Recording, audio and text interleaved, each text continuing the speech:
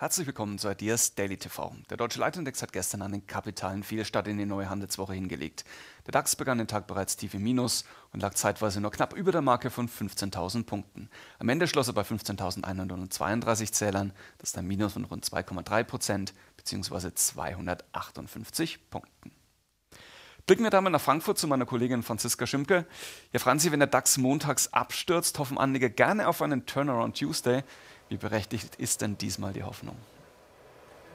Ja, in der Tat rechnen wir an diesem Dienstag erst einmal mit einer Stabilisierung beim deutschen Leitindex und somit dürfte es zunächst mal Richtung 15.200 Punkte wieder für den DAX gehen. Aber die Inflation, Konjunktursorgen und eben auch die Sorgen um den Immobilienkonzern Evergrande, dass es da womöglich einen Zahlungsausfall geben könnte und das natürlich dann ja ordentlich Konsequenzen mit sich ziehen würde von Seiten eben ja des chinesischen Konzerns, ist ein Belastungsfaktor und somit äh, ist hier schon auch weiterhin viel Unsicherheit im Markt. Wirft man jetzt einen Blick auf die heutigen Vorgaben, nach wie vor kein Handel beim Shanghai Composite. Der Nikkei holt das nach, was gestern schon so ein bisschen vorweggenommen wurde. Das heißt, dieser ist doch deutlich über anderthalb Prozent im negativen Bereich und auch beim Hang Seng sehen wir noch einmal rund ein halbes Prozent an roten Vorzeichen. Beim Dow ebenfalls ein schlechter Start in die neue Handelswoche. Da ging es gestern um 1,8 Prozent nach unten, zeitweise der Dow auf dem tiefsten tiefsten Stand seit Ende Juni. Aber auf diesem niedrigen Niveau haben sich dann schon wieder Käufer gefunden. Und natürlich heute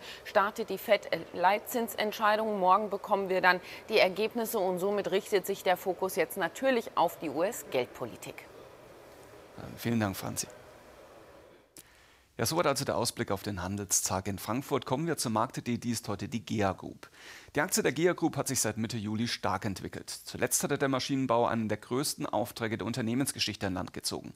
Jetzt scheint der Kurs allerdings in den Korrekturmodus überzugehen. Gestern rutschte das Papier auf ein Drei-Wochen-Tief.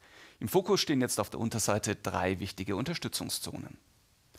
Eine ausführliche Chartanalyse finden Sie wie gewohnt unter www.ideas-daily.de. Und schauen Sie auch auf www.trader21.de. Dort finden Sie alle Informationen zum Online-Börsenspiel Trader der Societe Generale. Der Hauptpreis ist ein Jaguar I-Pace. Spielende ist am 29. Oktober. Das war die aktuelle Ausgabe von Ideas Daily TV. Vielen Dank für Interesse und bis morgen.